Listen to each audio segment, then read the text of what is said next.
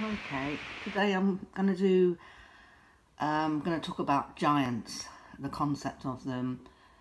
Giants are in the book of uh, um, Enoch and you know explains how they were how they were made, how the fallen ones fell to the Mount Hermon, made a pact and then proceeded to mate with the humans, creating the giants.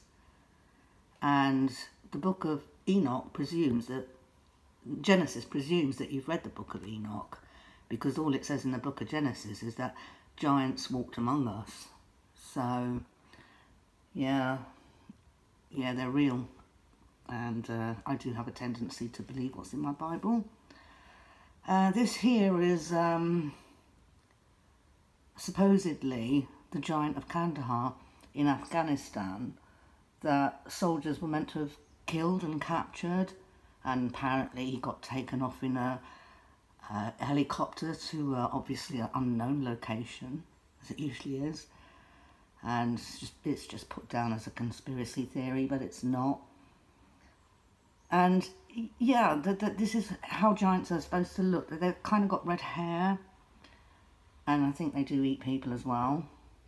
And uh, to this very day, there are thousands of newspaper cuttings about the finding of giant bones. And uh, you can still find the newspaper cuttings where they found the bones, but you don't see the bones because they've probably been destroyed.